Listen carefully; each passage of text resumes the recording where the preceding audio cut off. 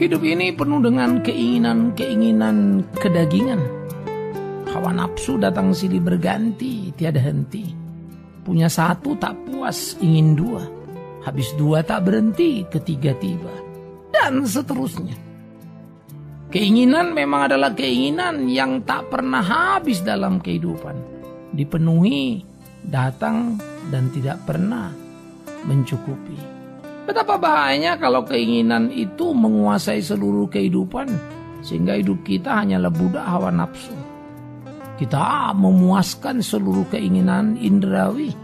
Hedonisme menjadi gaya yang salah, yang menakutkan. Ketika manusia merasa dirinya hebat luar biasa, menikmati ini dan itu yang salah. Padahal dia sedang menjadi permainan dari keinginan daging yang tak terkendalikan. Kuasailah keinginanmu, maka itulah jalan kesucian. Sudah berjalan di tempat yang semestinya, karena jalan kesucian adalah jalan satu arah. Ia memberi ketenangan bagi istri yang di rumah, karena suami tak akan pergi ke mana. Jalan satu arah, memberikan kepastian bagi partner dalam usaha, karena rekan kerja tak akan menghabisinya.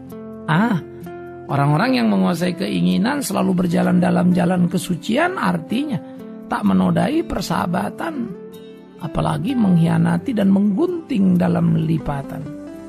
Jalan kesucian itu satu arah dan mudah dipahami. Jalan kesucian itu bukan seperti kata-kata yang melangit dan tak membumi. Tidak. Jalan kesucian itu satu arah. Sederhana.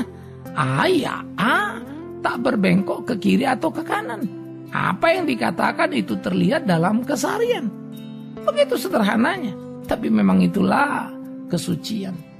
Semoga kita punya dalam kehidupan supaya jangan sampai salah dalam keseharian.